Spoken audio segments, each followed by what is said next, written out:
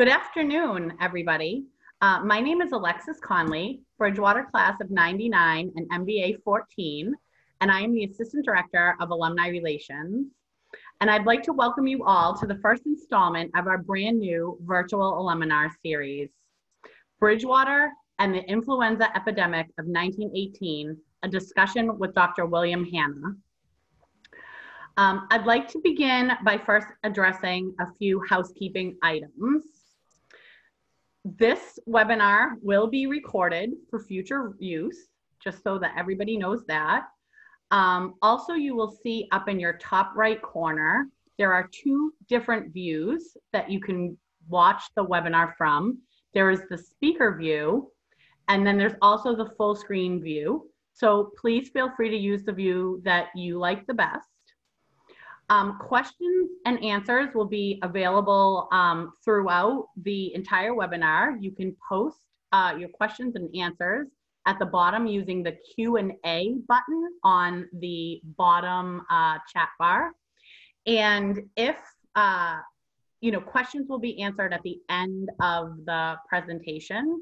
And if there are any questions, if there are more questions than we have time to answer, we will answer the questions after the broadcast and, and post the answers for uh, everybody to see. Um, and I think that is it about the housekeeping. I also wanted to offer to everybody that President Fred Clark, class of 83, unfortunately couldn't join us today for the Aluminar, but he wanted me to share his well wishes for all of you and hopes to see you all on a future Aluminar. Um, today we have two presenters in the house with us and I would like to next introduce our guest host for our series, uh, Robert Bradley, class of 2012. And I'm gonna read you his short bio.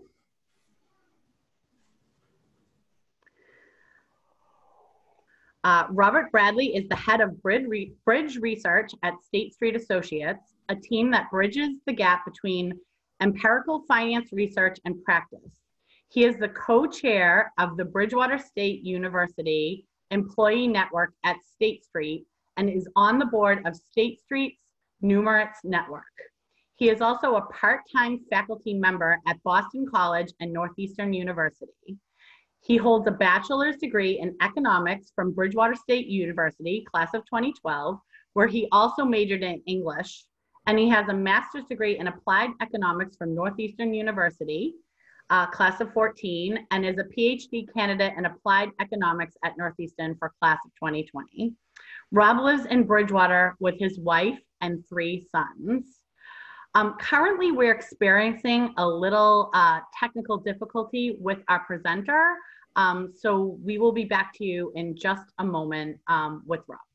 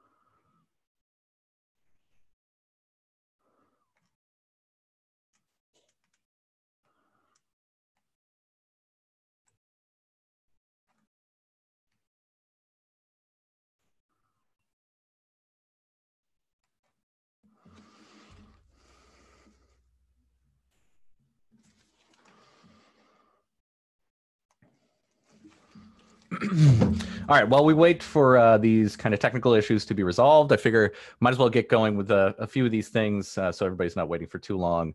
Um, and then once they're resolved, hopefully we can get right into uh, Professor Hanna's presentation. Um, so uh, first, I want to thank Alexis uh, for having me and uh, for the alumni office to, to, have me to host this. This is um, obviously a really relevant topic, um, and you know Professor Hanna's perspective is um, unique in, in the fact that he, he focuses um, his research completely on the town of Bridgewater.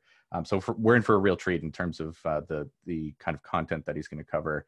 And I mean, obviously, we've all lived through kind of an unprecedented response to what feels like an unprecedented global pandemic. Um, but as we'll see today, the, the pandemic itself is not actually unprecedented. Um, and even a lot of the ways that we've responded to this pandemic isn't unprecedented either. Um, so it's one of kind of the fascinating things that we'll see here today is that um, history does repeat itself a bit. Um, and we've learned some lessons from our past experience, but we did not uh, learn all of the lessons that we, we maybe should have. Um, and so while we wait, I'm just going to introduce um, Professor Hanna. So William Hanna holds a doctorate in history from Boston College. He spent 37 years in Taunton Public Schools as a teacher and curriculum supervisor. He has also been a visiting lecturer in the history department at Bridgewater State University for more than two decades. He speaks and writes widely on New England history, and his book, Abraham Among the Yankees Lincoln's 1848 Visit to Massachusetts, was recently released by the University of Southern Illinois Press. Uh, Professor Hanna has also written his, a history of Taunton, Massachusetts, and he yeah. presently serves as president of the Old Colony History Museum in Taunton. and it looks like perfect timing, uh, Professor Hanna. I just finished your bio. Um, so I hope it was a good one. I made the entire thing up, and you'll never know what I said. Uh, um, well, uh, without further ado, why don't we uh, turn it over to you for uh, your presentation on uh, Bridgewater in the influenza epidemic of 1918. Okay, can everybody hear me all right? I think so. Well, let's yeah. talk for let's talk for a few minutes about um, the epidemic itself and how it affected Bridgewater. Uh, first of all, um, this as occurs probably with COVID came in stages. Uh, there was a an outbreak of influenza in 1918 in the springtime, uh, subsided, and came back with a vengeance in the fall. Uh, when we look at the, a comparison between 1918 and 2020, we see that the influenza epidemic of 1918 was devastating. Uh, somewhere between 40 million and 100 million people worldwide died. Uh, more than half million, probably 550,000 or so Americans died. Uh, 46,000 Massachusetts people died. So we see that uh, all, as bad as we are today, we see that there was a time in 1918 when it was uh, considerably worse. Um, what was different in 1918 is that the United States was involved in World War One, and that uh, affected the way that the uh, country handled that epidemic. Uh, the president of the United States was Woodrow Wilson, um, second term president. And it's interesting now when we compare the uh, the two times, Woodrow Wilson, President of the United States, said not one public word about the flu epidemic that was raging around them. He caught the flu and still said nothing about uh, that pandemic. I was interested uh, particularly in Bridgewater. Uh, we'll get to that in a second, but I think to put that in some context, when we talk about World War One, um, there were 32 Army training camps around the United States preparing soldiers for World War I service. The largest in this area was Ayer, Massachusetts, Fort Devens. Um, that held about 50,000 men. Many of those men were uh, farmers coming from the western part of the state, as well as from around the United States. Many of those guys had zero immunity for contagious disease. And you can see that in American history throughout. The same thing was true in the Civil War. If you look at the soldiers who died in the Civil War, in the Civil War camps, many of them were farm boys who had uh, never experienced city life, had never uh, achieved any type of immunity, and so forth. At Fort Devens, the uh, base hospital was um, uh, was uh, capable of holding 2,000 uh, soldiers. By the time this flu epidemic ran its course in October of 1918, for example, it held 8,000. And you can see some of the um, doctors who had come back from the Western Front who had come back from France and Belgium compared what they saw in Camp Devens Hospital with what they had seen on the uh, on the Western Front. Uh, would you hold on one? The, my window is open and the kids across the street are playing. Just let, take a quick time out.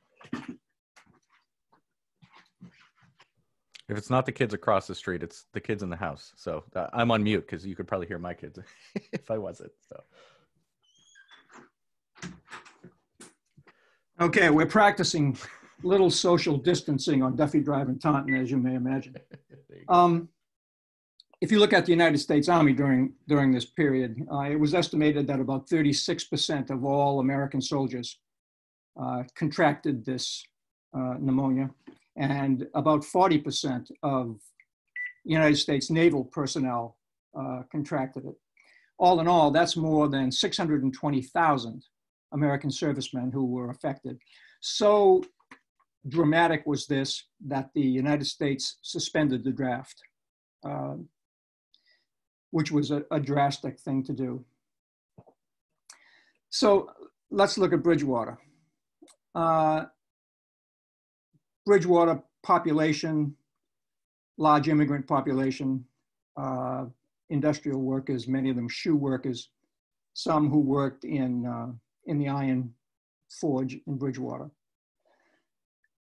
I read an interesting piece the other day, which in which uh, it compares the susceptibility of people in 2020 to the susceptibility of people in 1918. And you can see basically the same patterns. Densely populated areas are affected most dramatically. Uh, immigrant uh, families whose culture in time of stress brought families together, placed added burden on uh, public health facilities. Nativism, xenophobia, uh, added to their sense of isolation. And uh, they died in larger numbers than uh, other Americans. Because it was World War I, American resources were already stretched as thin as they could be. Um, federal government in those days played a much smaller role in the lives of average Americans than it does today. The first uh, reports that you see of uh, the flu in Bridgewater actually come in the newspapers in Brockton, Massachusetts. Uh, they had a uh, correspondent uh, in Bridgewater who reported almost every day. And it's, and it's really interesting to look at that. Um, when you see it in Bridgewater, you begin to see it, first of all, in the shoe factory. Uh, those of us who are familiar with Bridgewater know the mall. Uh, I call it a mall, the, uh, the area where um, Roche Brothers is and uh, the uh, McDonald's and so forth. Well, there was a large shoe company there at, at that time. And because of the war, they were working on um, defense contracts and they were working three shifts. So that place was going many times, uh, 24 hours a day with immigrant labor. And in those days, uh, many of the people who worked in those shoe factories lived within uh, a five minute walk. So you begin to see downtown Bridgewater affected. One of the things which was interesting to me is the, the fact that Massachusetts generally was not um, prepared to respond publicly and quickly. You know, one of the things which happened in Bridgewater and happened everywhere else is you did not pick up the newspaper every day and see how you could minimize or mitigate the opportunity for you to catch this disease because the government was uh, concerned primarily, first and foremost, with propaganda, with uh, building morale and keeping morale uh, for the war effort. So uh, the federal government was largely silent on it. There was no Dr. Fauci, uh, there was no Dr. Birx, the CDC was far in the future. So it was left primarily to states and uh, disproportionately to locals to see how they were going to handle that. In Massachusetts, uh, it they, we were slow to respond. Uh, for example, they didn't close the schools uh, until this uh, was well underway. The, this began to show up at the end of August, the beginning of September. They didn't close the schools until the third week of September. Also, they didn't close the theaters until shortly after that. So you had a, uh, a, a positive brew of uh, influenza, uh, even in a little place like Bridgewater. The college closed. the college in those days was much smaller than it is now. There were very few students at Bridgewater in those days, Bridgewater State Normal School. Very few of those students stayed on campus. Many of them went home. They were, they were commuters who went home every day, and some had shared rooms in the, in the downtown area. So the college shut down. Uh, but as in as today, the infrastructure of the college had to remain. There were uh, in those days, as today, essential workers. They had to they had to keep the college running, and it's interesting to me that although classes were suspended and the library was closed, there were students at Bridgewater State Normal School who came to the college every day to volunteer, to do what needed to be done, to open the doors and lock the doors, to make sure that the uh, the furnace uh, ran for hot water um, to make sure that the electricity stayed on and so forth. But school was out, uh, which was interesting also because in those days, as today, they had student teaching. Uh, they had they had educators. In fact, in those days, Bridgewater was almost exclusively a teachers training school. So those people who were out for student teaching in 1918 had just gone out school had just started when this when this began, and um, there was um, you know confusion and just like today there was confusion and uncertainty about what the future would bring to them. Schools in the Bridgewater area and in Massachusetts uh, were closed for not nearly as long as our schools have been closed right now. They eventually got back. We can talk about going back too early, which many places did. Um, but the campus was closed with the exception of um, some volunteers. I saw a figure, I don't, I don't give it much credence, but I did see a figure of the number of people uh, who worked on campus who were stricken with the flu. It seemed to be no greater, no less or more than you know, the average uh, um, town in Bridgewater. Uh, September 28th in Bridgewater, from then on, there were no public funerals. Very interesting to see uh, beginning then that advertisements in newspapers for flower shops and uh, for uh, funeral directors went up. In those days, there was no such thing as a funeral home. In those days, people were buried from the house, which drove public health officials in Bridgewater and in Brockton and in Taunton and in Boston crazy. Because um, particularly among the immigrants, when someone dies, everybody gathers at that house. Uh, the director of uh, public health, uh, Board of Health in Bridgewater kept, uh, if we look at it today, it seems that he, you know, he was unduly harsh with the immigrants, but they couldn't get those immigrants out of those houses. Uh, many times they wouldn't call a funeral director until more than 24 hours after the person had died. So, so that's, um, you know, a, a, problem that existed uh, uh, a lot. Newspapers, commentators afraid to run stories critical of state or local uh, uh, caring because uh, in those days uh, they were very much afraid that it would be uh, they would be uh, punished by the government um, sedition laws were in place, uh, and and just public opinion didn't didn't support that. So you would not pick up the um, story that the government was slow or, or not responsive. Um, in Bridgewater, as in the rest of Massachusetts, this is, this, excuse me. Of all of the play, of all of the times for spam, cold calls, Rob, of all of the time for cold calls, this is, uh, this is not the one. Um, they were very, they're very careful of, of criticizing. Uh, if you look at the apex, or if you look, uh, I guess, I guess they've called it the, uh, the peak or pinnacle now, uh, that came uh, in the first week in October of 1918. Uh, in October of 1918, Boston, just Boston, was losing 250 people a day uh, to, the, to the flu. Uh, October 1918 is the deadliest month in American history.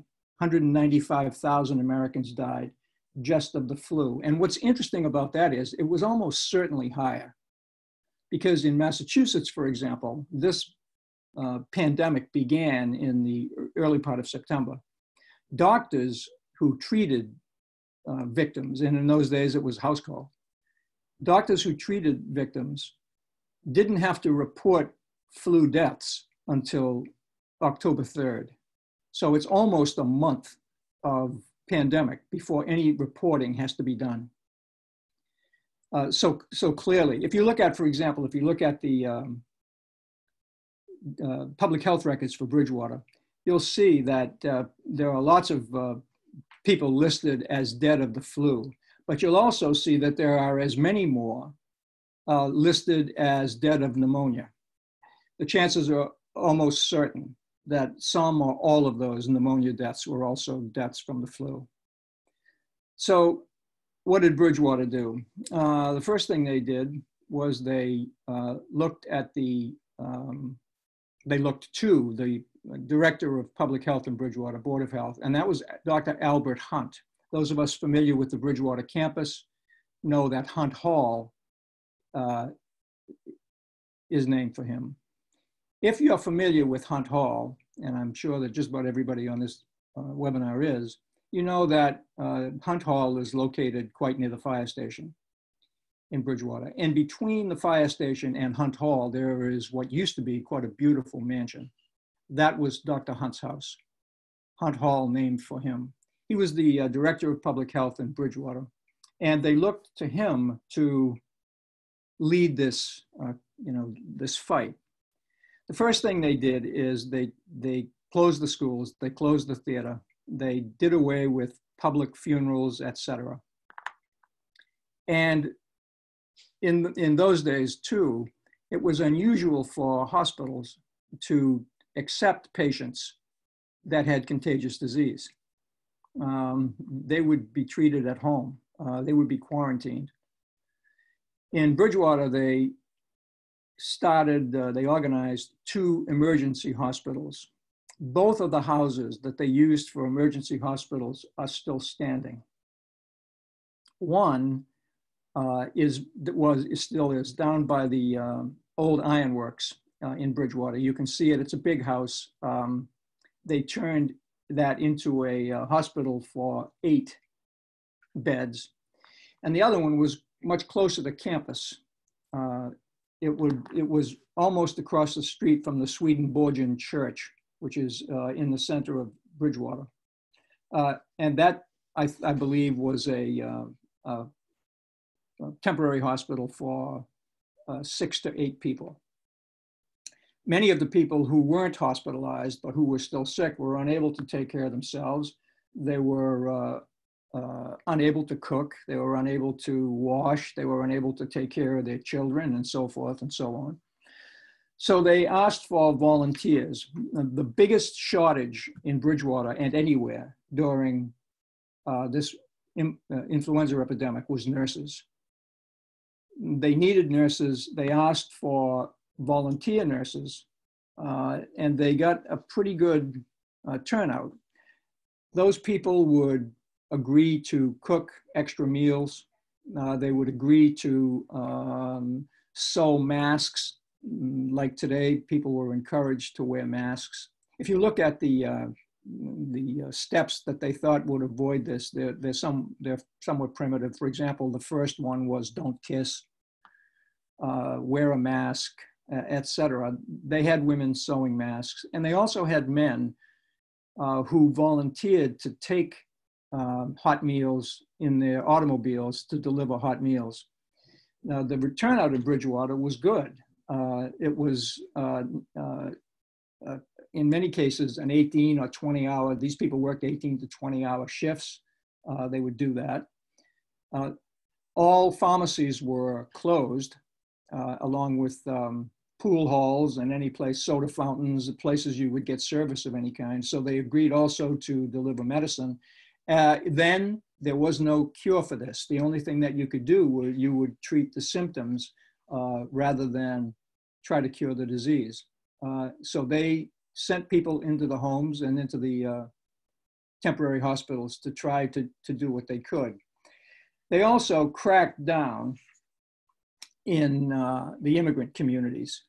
Uh, they sent, in those days, there was no the equivalent of the National Guard in those days, what was called the State Guard. They were sent in to quarantine the homes of the immigrants uh, who lived densely packed into uh, the, the tenements that serviced the shoe industry. So you what would what you would find interestingly enough would be there would be five or six uh, largely italians a lot of italians and a lot of eastern europeans as well but the italians seem to be the target. But you would see five or six unmarried italian guys sharing a room in one of these rooming houses. If somebody got sick in that rooming house the rooming house was quarantined.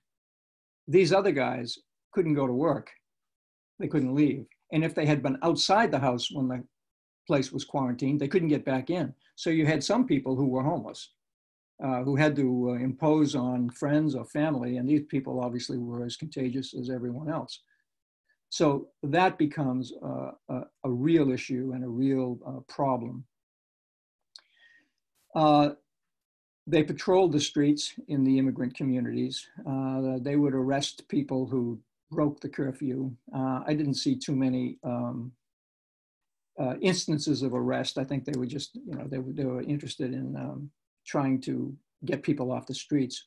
It's also interesting at Bridgewater, the, the people who were looking for the cause. I mean, we all wanted to blame somebody, right? We all, we all, we all can't believe that some, even today, that some disaster like this could descend on a, on a modern industrialized country. Well, they couldn't believe that either. And like us today, they liked conspiracy theories. Uh, one conspiracy theory that ran through the whole place was that the Germans had unloaded a submarine, and some of these are pretty good. The Germans had unloaded a submarine uh, either on the North Shore or above Boston or someplace on the Cape, and that these German uh, agents had walked into the big cities of Boston, for example, um, with material that had somehow contained influenza uh, germs and had in fact planted this disease among us. And uh, it was a German hoax, a, German uh, uh, uh, weapon. Also, there was a good deal of um, suspicion that the Bayer company, Bayer aspirin, that's a German company, and there was a belief for a while that the Bayer company in Germany had infected aspirin with influenza and had uh, infiltrated that into the um, United States. In those days, you don't, you don't talk about uh, agents, you don't talk about infiltration, you don't talk about foreign danger because that flies in the face of uh, what people want to hear in wartime and also what the government wants to put out. So, so there's no uh, free discussion. There's no uh, some surmising about what this could be. Uh, it's all it's all kept quite quiet and it's all kept um, locally.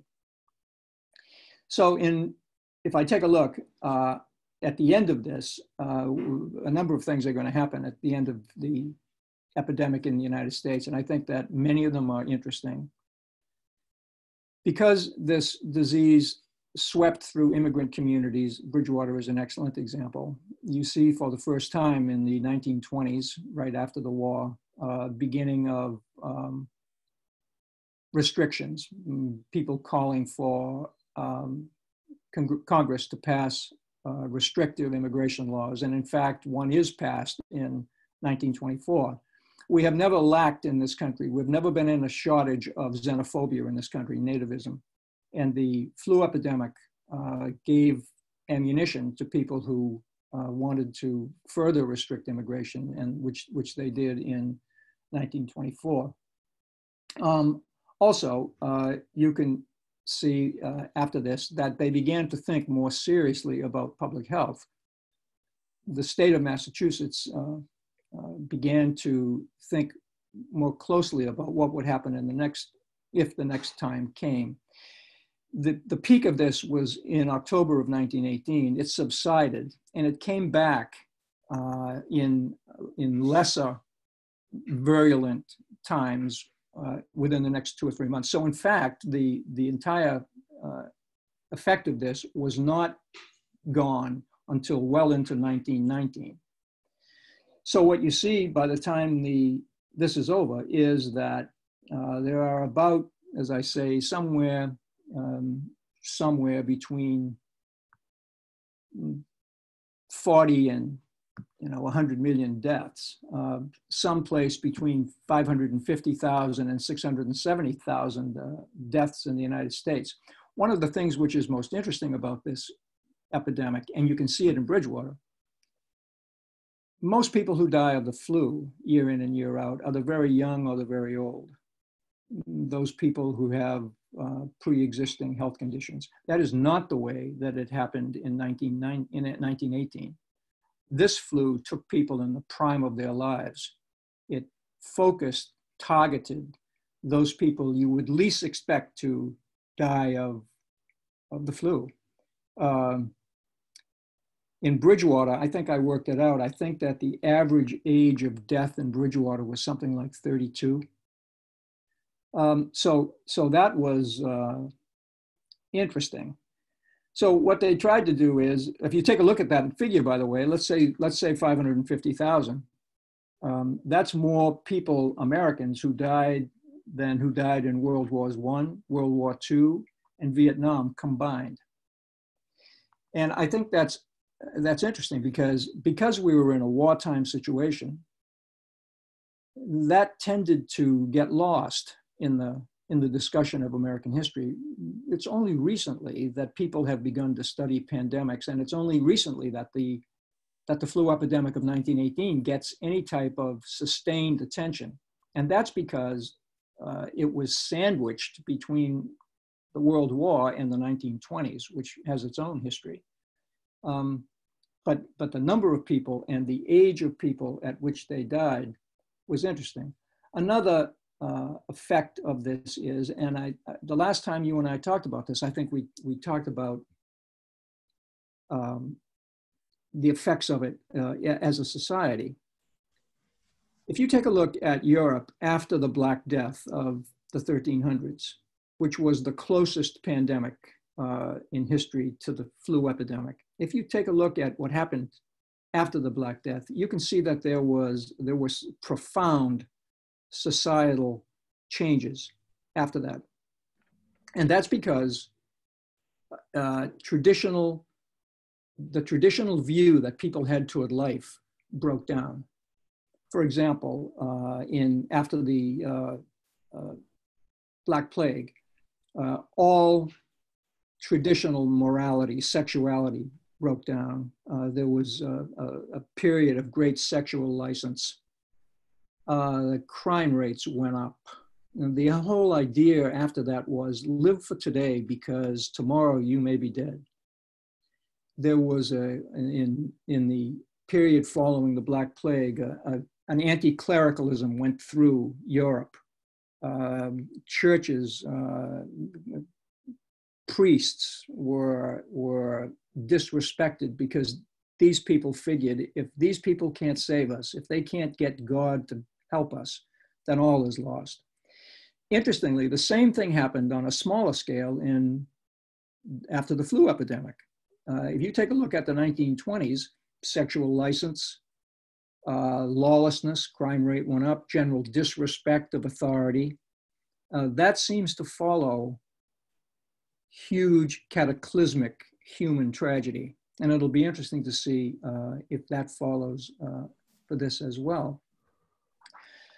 Um, one of the things which has not been studied uh, as closely as it could, and I think it, I think it would be interesting, is uh, the number of caregivers who died in the flu epidemic. Uh, we see stories now every day of doctors and nurses who are working in major hospitals with COVID 19, and these people uh, fight the fight every single day. Some of them die, as we have seen my guess would be that in the flu epidemic of 1918, you would be, we would be very, very, uh, we would be stunned if we had a way to look uh, objectively and completely at um, how many died during that time. In those days, uh, nurses training was not what it is today. Um, the idea of getting a nursing degree in those days was not what it is, nor was the, uh, the knowledge of uh, contagious disease. And I, I would sure that you would find that um, the, the death toll among these people in Massachusetts was staggering. In Bridgewater, Bridgewater sent out uh, a call for help for nurses. And interestingly, the federal government sent one. Uh, she worked here for, I think, uh, maybe four or five days uh, at the worst of it. Um, and um, and then went back to, I, I think she was from New York. They also sent a doctor. But doctors were powerless because there was no cure. Uh, the only thing that anybody could treat, and you could treat one is uh, the a high school kid could treat somebody as effectively as a, a medical doctor because all you were doing was treating the, the symptoms.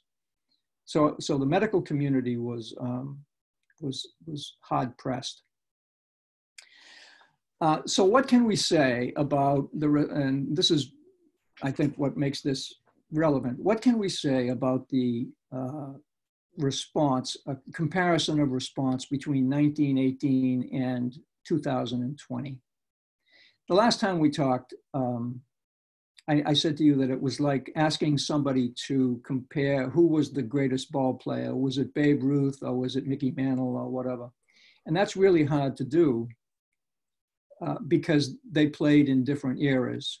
And I, have already mentioned the fact that the federal government in those days played a much smaller role in American lives uh, than it does today. Uh, it's only with the New Deal in the 1930s that the federal government becomes uh, more of a presence in our lives. So, in that respect, uh, the people in 1918 did not have the expectations of federal help that, that we have today. But one thing is really interesting, and it's something that I've seen since I talked to you the last time, and that is there were attempts in 1918 to impress upon people how important and how valuable social distancing was. And one of the things, one of the studies that has come out of the, uh, the uh, study of 1918 is that those places which were most successful in social distancing also had the lower number of uh, flu deaths. The, one of the best uh, uh, records came from St. Louis, uh, in which they were largely shut down and they stayed shut down for a longer time. They had a, lot, a smaller death rate than Pittsburgh, Pennsylvania, which had one of the highest in the nation. And it was, it was impressed upon them as much as possible to don't go to the theater, don't don't go to church. And again, they had the same agitation in 1918 about church service that we see today. And like today, there were some people, many people in 1918, who felt that the, the restrictions that had been placed by cities and towns on citizens were too harsh, unconstitutional, etc. But uh, the figures have shown that those places which closed down tightest and opened up latest did better, uh, all in all, with, uh, with flu deaths. Um, I, I, find it interesting. I think the, the greatest rate of death in American cities in 1918 and 19 was Pittsburgh. You wouldn't think that. You would think New York, or you would think Washington, D.C., or someplace. But, but that's not the way, apparently, the, uh, the study that I saw that that, that turned out. And, and you would think, I would think, that St. Louis would not be among the places which would show the best record. In any event, one of the things that we learned, I think there are a number of things that we learned from 1918 that we may or may not have practiced now. And one is uh, recognize the situation early. In neither 1918 nor 2020 did we recognize the situation early. Uh, second, uh, in the case of the federal government in 1918, there was suppression of facts and information and health news. In 2020, there may have been a, a, an abundance of, an, an overabundance of it, but the government, federal government needs to tell people the truth so that they can make uh, judgments for themselves on how they're going to handle this. And third, uh, don't, don't unlock too soon. Don't, don't listen to uh, those people who are perhaps just only interested in uh, opening up the casino or whatever, because um, studies have shown, including the new one, that in 1918 uh, that didn't work as well as it could. We hear now news that uh, there could be peaks, another peak or another spike because of the early opening. If that's true, that had that mirrors what happened in 1918 as well. Uh, so what did Bridgewater get out of this? Interestingly, they got something out of it. Uh, the uh, shoe companies uh, and the iron company got together and they hired a nurse for, for this uh, crisis. And after the crisis, they kept, they kept her on. Uh, so, so this got Bridgewater a public health nurse after the, after the horse was well out of the barn and, and she was on for a while lots of people uh, say always now, uh, what effect did the flu epidemic have on the lives of people in Bridgewater in 1918? And the answer is probably day to day, not much. Um, because of the war, there was no such thing as an essential worker. Everybody was an essential worker. All of the shoe, shoe companies and all of the iron companies and all of the industries, textile industries in southeastern Massachusetts uh, could not have closed down if they wanted. Mm, some of them, because of the uh, epidemic, went on reduced work, one shift, one and a half shifts, because simply they didn't have the people to man the whole thing. But if I were a school kid in Bridgewater, Massachusetts in 1918, I would get out of school. Uh, I think the schools were closed in all for between three and four weeks. Um, and then it would be back to the movies and back to the soda fountain and back to everything else if I were a worker, uh, I would I would never leave. I've never left work. What it did is uh, it did bring tragedy. I think the death toll for Bridgewater, I believe, was 46, I think, or something like that. But my guess would be it was much higher than that. Uh, but we'll, we'll, we'll never know that. It brought no foreboding of what could happen. Uh, if you take a look at these people, they went into the 1920s lived well in the 1920s, unless you were an immigrant, lived well in the 1920s. There was prosperity throughout the 20s, particularly in a place like Bridgewater. Uh, and then the Depression comes. So they, those people who had been children in the time of the flu epidemic now become adults in the time of the Depression. And by the time they graduate from high school, World War II is on us and off they go.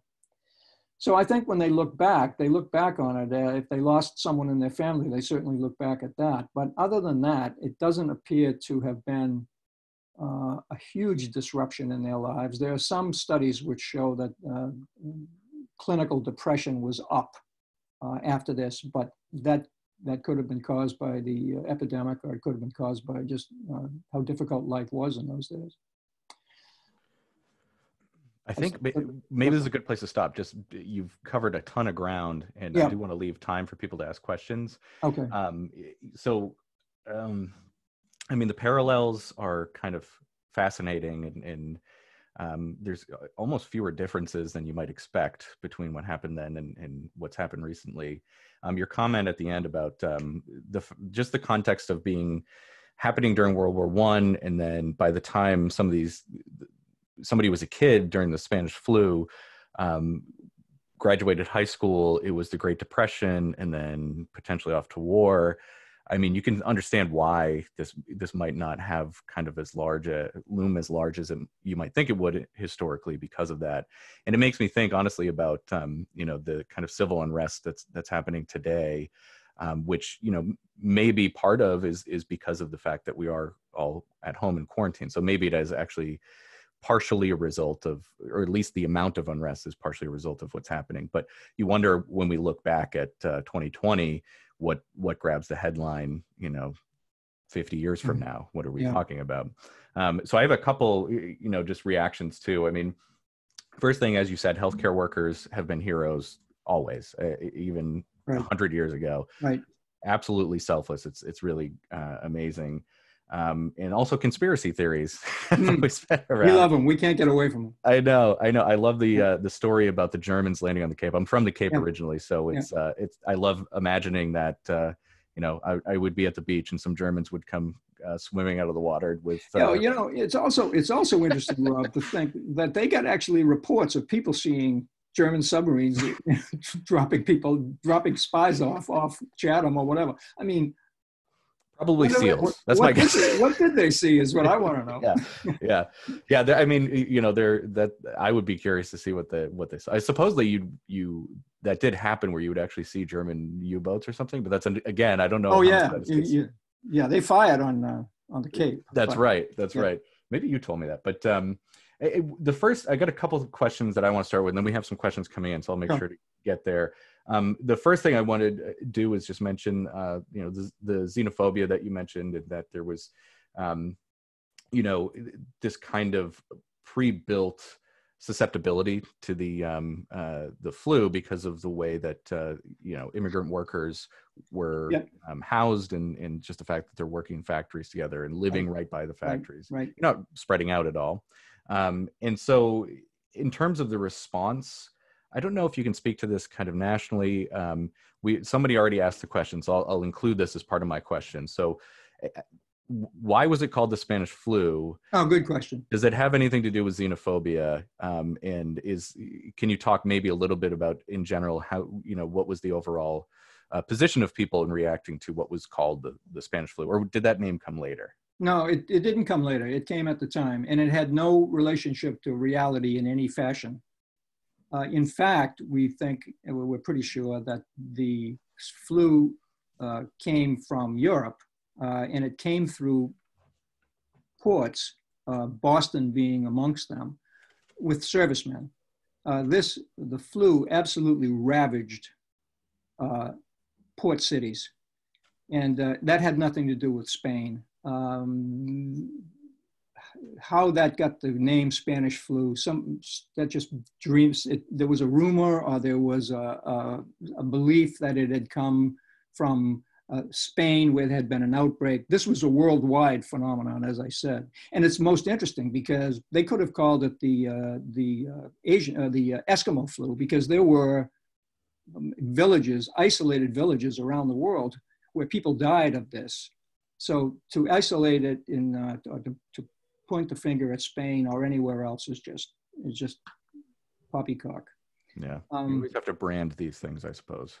Yeah, yeah, I guess so. Um, like, what, what, what, are we calling? Uh, we're calling COVID the Chinese flu now, aren't we? Isn't isn't that? Uh, well, that at least one person is trying to call it the Chinese. Yeah, yeah, I know that. Yeah, we like. Um, yeah. So that question was from Stella, and she actually has a follow up question, which I think sure. is, is a good segue too, which is why mostly Italian immigrants? Um, I think maybe you were speaking about the pop, the immigrant population in Bridgewater, but uh, yes, just yes, just Bridgewater. Uh, oh. There was a there was a, a widespread uh, Italian population throughout much of southeastern Massachusetts. Um, they followed the jobs, and they followed uh, they followed their families who had been here before. They followed the jobs and uh, settled primarily in cities. I mean, it's going to be Sacco and Vanzetti that uh, become the you know, the xenophobia target uh, in just a little while after this, uh, after this epidemic. So there were large numbers of, um, of Italians here working in the shoe industry. They were also uh, very, many of them very talented stone workers. So there was a, a, need for their uh, skills.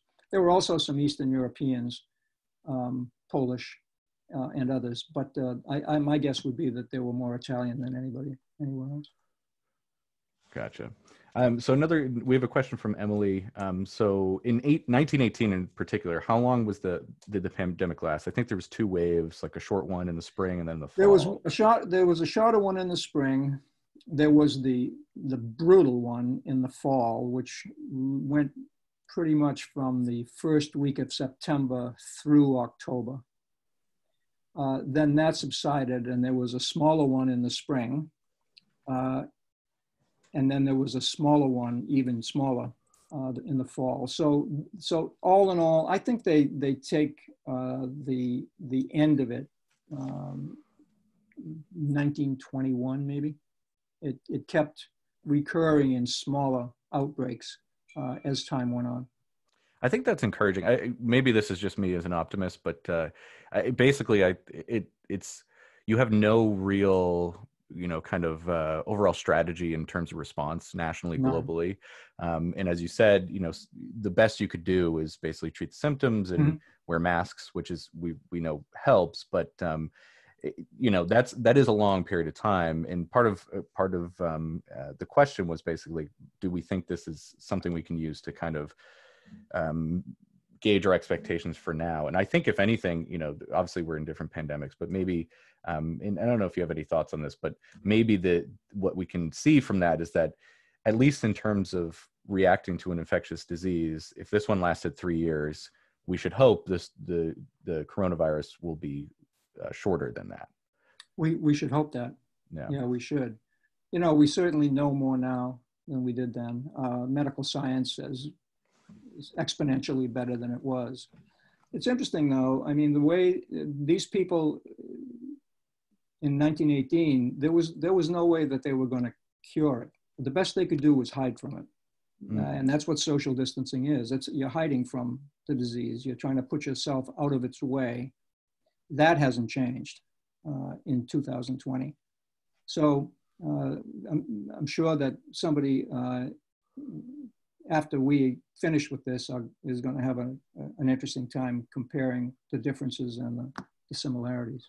Yeah, uh, yeah, there'll be, I think, plenty of plenty of research on that. And you know, one of the things that's pretty stark is um, I saw a, an interview with uh, Dr. Anthony Fauci from like three years ago, where he was talking about if there was a global pandemic and what the response would be. And obviously, it's exactly what the response has been. So this is not something we didn't know how to respond to. And I, I think a big part of that is probably our experience here, um, and also other kind of uh, epidemics that have popped up around the world. Mm. Um, so we have uh, a question from Janine. Um, was there any indication there's animal involvement in the the spread of the pandemic? So oh, that's a good question. Yeah. That's a good question. Animal or insect not, transmission? Not that I know. No, not in. No, no, it was it was person to person.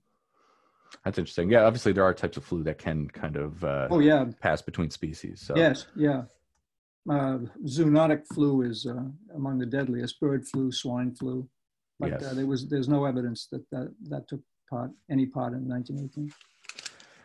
um, so, duh, duh, duh, I'm curious. So Woodrow Wilson got the flu. You said he didn't say anything about the flu. Um, was there Not any? yeah did was there awareness publicly that he was sick or had the flu uh, he kind of famously also was it during the time when he was have to remind me um, he he was i think traveling to yes. promote the league of nations right? And no he was in paris for the uh, for the uh, paris peace conference. That's what it was. Okay um, okay yeah yeah yeah. was was it widely publicized? No not at all. Uh, he came back uh, and there's pretty good evidence that he never really recovered because he had a devastating stroke, as you probably know, just mm. just a short time after he you know came back to went to go on this campaign of convincing the people in the Senate to approve the Versailles Treaty. But no, he, he didn't say anything. Yeah, he had not one not one public word about it. Yeah, I mean, obviously, very different times. And I just uh, so everybody knows, we're we're a minute over time. Um, Bill, if you have a few more minutes, we'll take Sure, a couple more questions, Absolutely. um, and uh, then then maybe we'll wrap up. But um, in Stella, I see your your uh, questions. I, I- I do want to bring these up to Bill, but uh, first, uh, Marianne has a question. Uh, were medical devices such as ventilators used back then, or something similar, something to aid in breathing? No. Um, and then, yeah. So, was there limitations in terms of access to hospitals and things like that, yes. uh, based on income and, and social standing? Uh, not so much, I think, on income and social standing. Hospitals in those days obviously were much smaller than they are right now. Yeah. Most of them were not uh, equipped to handle contagious diseases. So they ended up making temporary hospitals. But in, uh, my guess would be that it didn't matter very much because, again, you're just treating symptoms. Uh, there's no such thing as a ventilator in those days. There's no such thing as uh, oxygen uh, administered in the form that we would know it. So it was a, pretty much a place to make people more comfortable, to make sure they got fluids, and to hope for the best. that's uh you know it that's one of the things i think that is is also hopeful about now is that at the very least the treatment of the symptoms has gotten better so you Yeah. probably have you know a more likely chance to survive even with uh, uh covid which is is apparently very deadly. So uh, um it, one I, we have a question from lisa and maybe this will be um, kind of our last official question. And, and if anybody has further questions feel free to send them along. And we can always follow up uh, after after the fact. And So you can the- also, also, you could email me directly if, if they have questions, whanna uh, at bridge.edu. Perfect. This is this is the good thing. We, so for everybody, um, uh, I'm sure you heard Bill say the last time we spoke. So Bill gave this presentation at State Street for our uh, alumni network, um, and that's one thing I, I couldn't do or didn't want to do was give out your email to all of No, those folks. okay, maybe I will after. But uh, but yeah, we're all friends here. So um, uh, so last question is from Lisa. Um, did the more wealthy sections in town get policed for the curfew violations? You mentioned the kind of immigrant population. So Right. did you see any evidence uh, kind of outside of there? Um, and then any pushback to curfews uh, overall that you that No you and no. No, there, no, the, uh, there was no pushback on curfews that I know of. And second, uh, the curfews, uh, the, the, the curfew had to do with um, movie theaters and public places. Uh, Very little pushback, at least that I see in, in the, in the press. Um, The quarantine part existed only in the immigrant neighborhoods, and that's only where the, uh, the state guard or the, uh, the guard was to, to make sure that they, they stayed there. If I were a rich Bridgewateronian and I wanted to go out at night, I went. Yeah. I mean, both of those things uh, kind of make sense. It's a weird juxtaposition, too, because you might expect that at a time where the government, certainly federal government, has less involvement in your life. So you're, you're kind of uh, maybe um, more used to being independent and uh, having nobody have any say over your life, at least if you're wealthy, certainly. Mhm.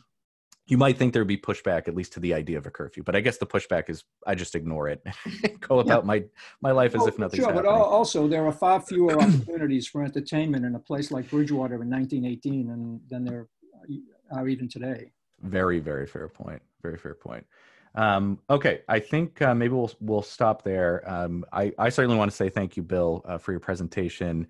Um, and again, I want to thank uh, the alumni uh, office for inviting me and, and uh, having me here. Um, but I, I now I want to turn it back over to Alexis uh, for some closing comments. Thank you so much. Um, first, I definitely want to thank you, uh, Dr. Hanna, for your presentation today. Um, it was excellent and very informing. And um, also to Rob for facilitating the question and answer period. Um, we really appreciate both of your help with our first Aluminar. So thank you so much. My pleasure. And for all of our attendees, I just wanted to let you know that our next Aluminar in the series will take place on July 15th at 12:30 p.m. and it is entitled Brother Can You Spare a Dime? The Anthem of the Great Depression and its Meaning Today. And that will be presented by Dr. Lisa Krissoff Boehm, Dean of the BSU College of Graduate Studies. Um, so I just wanted to let everyone know that the registration for that alumni will open later this week and can be accessed on our website, bridgew.edu under the event calendar. It will also be in our next monthly newsletter and via direct email that will be sent to all alumni. If you're not on our email list, please feel free to update your info on our website. And also, if you have any feedback on today's aluminar, if you have any questions that you'd like to send to us, um, or if you have an idea for a future topic or presenter, we invite you to please share your thoughts with us by emailing alumni at bridgew.edu. Um, on behalf of the entire Alumni Relations Office, we thank you so much for joining us today, and we hope to see you at our future virtual and in-person alumni events. Thank you so much.